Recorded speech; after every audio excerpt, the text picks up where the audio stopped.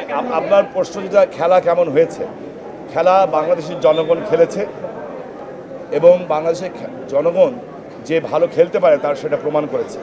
একাত্তরে পরাজিত শক্তি এবং বিএনপি জামাতের সন্ত্রাস এবং নির্বাচনের আগের রাতে সব এলাকায়, এবং আমার কাছে হাজার হাজার ভিডিও আছে, স্লোগান দেওয়া হয়েছে, তাদেরকে তারা গণতান্ত্রিক দল বলে। আমার শুনতে লজ্জা লাগে যে ভোট কেন্দ্রে যাবে যারা, লাশ হয়ে ফিরবে তারা।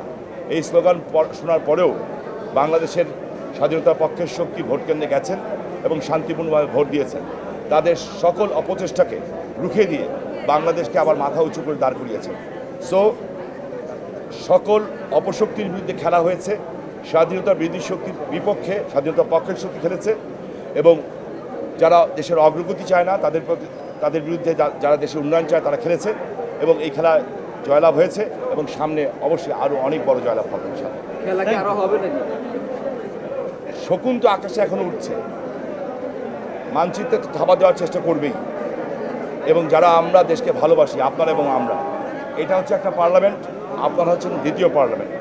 আমরা যদি একসাথে থাকি, আমার বিশ্বাস, আমাদের আগামী ভবিষ্যৎ প্রজন্মকে কেউ কিছু ক্ষতি করতে পারবে না। এটা আমার দৃঢ় বিশ্বাস।